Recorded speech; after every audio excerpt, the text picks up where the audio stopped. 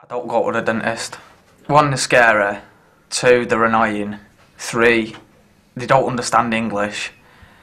They hate you. They make you feel uncomfy. They're all bad. I don't like dentists at all. Yeah, they need to speak English so you can understand them.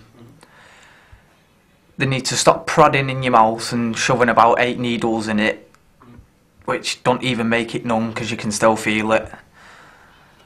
They need to be calm with you. They can't rush you and take you in and out and do the job like that. They can't do that. That's about it. Cool. Not really.